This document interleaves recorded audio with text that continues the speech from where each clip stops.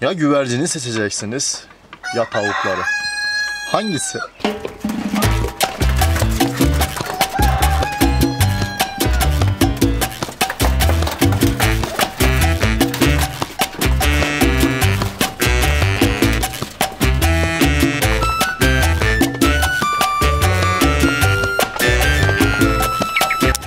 E karar verebildiniz mi? Güvercin mi tavuk mu?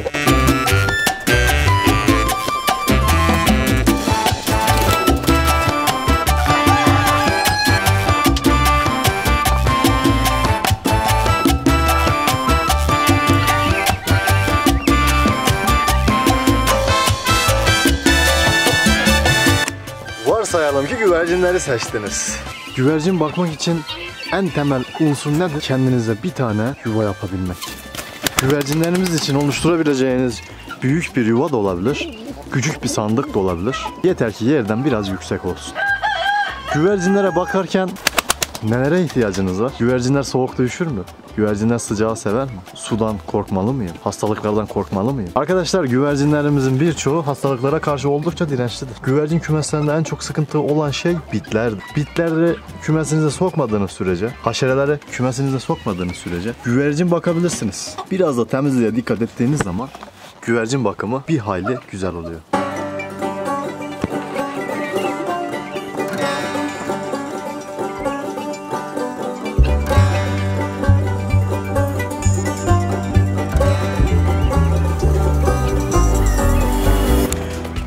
Varsayalım ki tavuk tercihiniz oldu.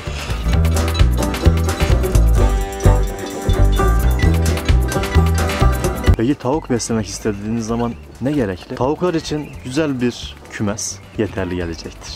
Tavuklarınızda her gün barınabilecekleri, günlük taze su kaynağı, günlük yine besleyici yem takviyesinde bulunduğunuz sürece tavuklarınız sizleri her zaman mutlu edecektir. Tavuk bakımında en önemli şeylerden birisi temizlik.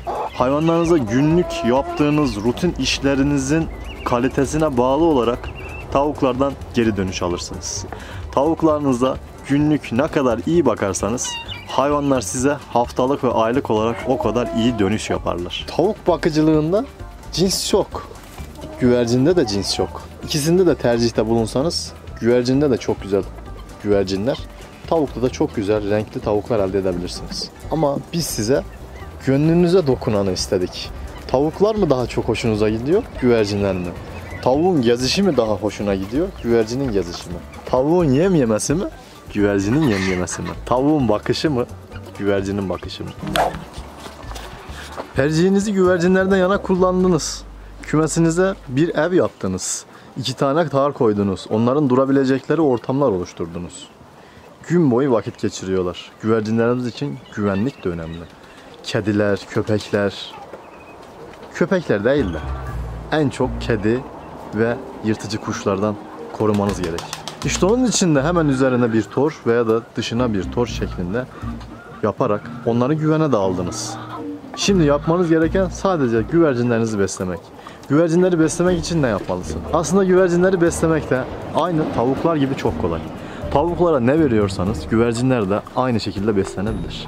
Güvercinlerimize de arpa verebilirsiniz. Güvercinlerimize de buğday verebilirsiniz.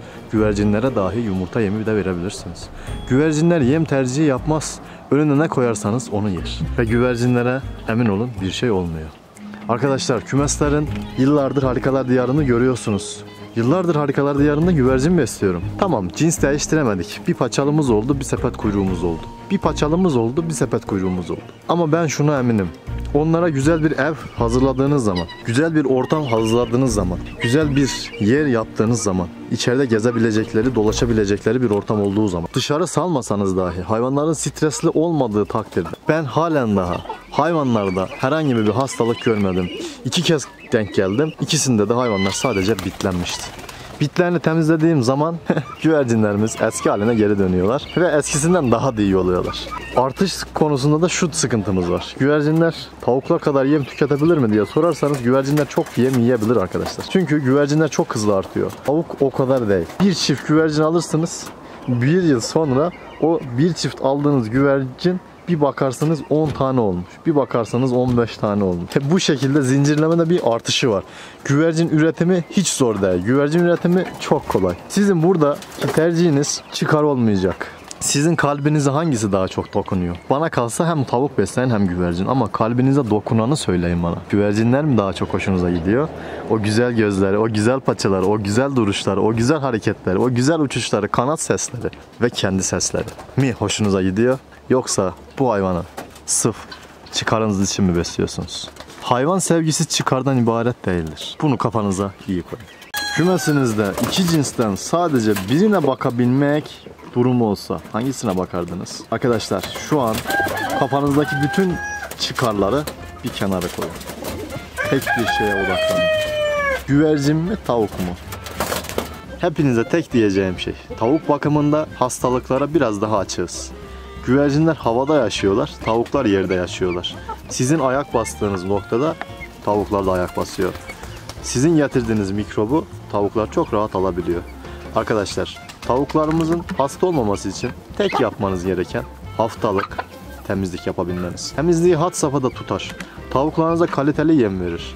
Taze su kaynağı sağlar. Haftalık veya da aylık olarak aşılara ve minerallere dikkat ettiğiniz sürece tavuk bakımı da çok kolaydır. Peki tavuklarda en sev- sevilen şey ne? Artı olarak güvercinlerden tavuğumuzun yumurta verimi vardır. Yumurta salarlar size, yumurta sağlarlar, et sağlarlar. Tavuktan çok fazla faydalanılabilir. Güvercin daha çok hobiye giriyor. Tavuktan daha da çok hobi yani güvercin dediğimiz şey. O yüzden zaten güvercin kitlesi daha geniş. Daha bir farklı. Ama emin olun tavukların da çok geri kalar yanı yok bence. Ben öyle düşünüyorum.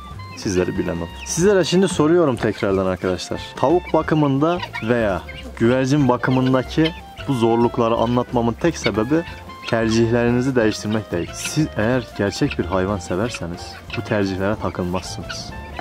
Kalbinize sorun. Hayvanları gerçekten seviyor musunuz? Hayvanları seviyorsanız bu tavuğun nasıl bakıldığı, güvercinin nasıl bakıldığı, güvercinin bakımının daha kolay olması, tavuğun bakımının daha kolay olması önemli değil. Bizim için gönlümüz ne diyor? Kalbimizi dinleyin ve onu yapın. Arkadaşlar tabii ikisine de bakabilirsiniz. Ben bugünkü bu video formatımda aslında küçük bir mesaj vermek istiyorum. Hayvan sevgisi öyle basit alınacak bir şey değil. Hayvan sevgisi her türlü hayvanı sevmek demektir. Tek bir hayvanla sınırlamayın kendinizi. Güvercin bakıyorsunuz, sadece güvercine yeriniz vardır, tamam eyvallah.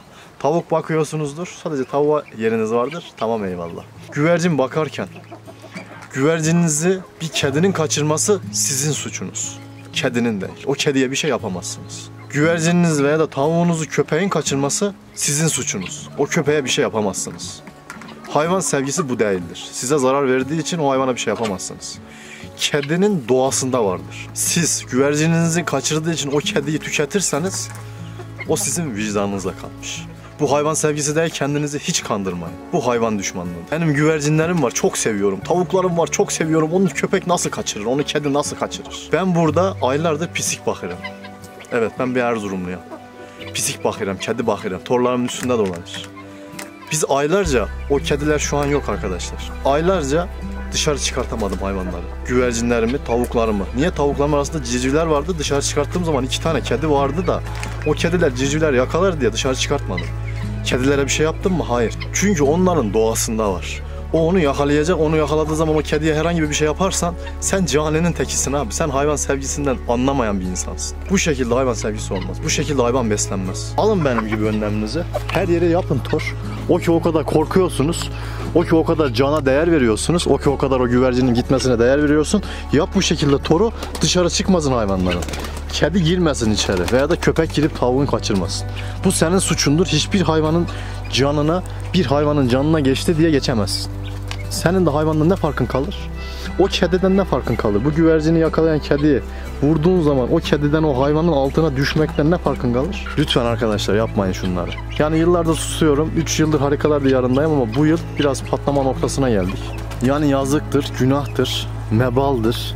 Hayvan sevgisi bu şekilde olmaz. Hayvan sevgisi dediğiniz şey öyle basit alınacak bir şey değil. Gerçek sevgidir. Sizin sevginiz sevgi değil. Güvercin besleyenler var çevrede ben biliyorum. Kedi güvercini kaçırmış diye gidip kediyi vuruyorlar. Şurada kalkıp pişpin pişpin anlatıyorlar sağda solda. Oğlum o kedinin doğasında o var. Allah onu öyle yaratmış. O kedi gelip onu yakalayacak, yiyecek. Sen tedbirin almazsan, tedbirin aldın diyelim. Bu şekilde ben kafesi donattım. Ne yaparsanız yapın. Bazıları diyor. Şurada küçük bir delik unutmuşum. Oradan içeri kedi girmiş güvercinin birini yemiş. Abi o deliği kim unutmuş? O kedinin ne suçu var? Yazık. Biraz çok yükseldim. Kusura bakmayın illa ki aramızda izleyiciler sinirlenenler de olabilir bilmiyorum. Ama hiç umurumda değil arkadaşlar bu durum. Ben sizlere yine söylüyorum. Hayvan sevginizi kendinize sorun. Ben gerçekten bir hayvan sever miyim diye. Hayvan severlik ele olmaz. Hayvan severlik yürek ister. Ha, konuşuya da geldi. Şu an kedilerim yok arkadaşlar. İki tane kedim vardı. Sahiplendirdim. Gittiler. Ben hayvanlarımı vurmadım. Ben hayvanlarıma işkence etmedim. Onları gönderdim sadece. Neyse çok yoruldum. Bu şekilde şeyler olduğu zaman çok kasılıyorum. Çok canım sıkılıyor arkadaşlar. Velhasıl kelam tekrardan videomuza geri dönüyoruz. Bana sorsanız ben tercihimi yani ikisinin arasında kalsam kümesim yetersiz gelsek tavuklar tarafından kullanırım. Çünkü ben tavukları daha çok seviyorum. Zaten tavuklarla başladım bu işe. Bütün hayvanları seviyoruz. Ama yani tercih sunulsa tavuklarla kullanırım. Yalnız diğer hayvanlara lütfen şey yapmayın arkadaşlar. Bakın dövüşelim. Hah, tatlılığı görür müsün? Canım benim. Dayak mı yedin lan? Koca horozsun bir tane tavuktan dayak yiyirsen. Arkadaşlar hepinize çok teşekkür ediyorum beni izlediğiniz ve dinlediğiniz için. Aşağı yorumlarınızı bekliyorum. Tavuk mu alırdınız yoksa güvercin mi? Ee, bekliyorum hepinizden bu şekilde yorumlar. Bakalım kimler hangi hayvanları daha çok seviyormuş. Bunları göreceğiz. Ama sizlere dediğim gibi lütfen hayvan ayrımı tercihi yapmayın. Bütün hayvanlar bizlerin, bütün hayvanlar bizim. O yüzden herkese yardım edin. Bütün hayvanları sevin, sayın. Kendinize çok iyi bakın. Diğer videolarda görüşürüz. Hoşça kalın. Bay bay.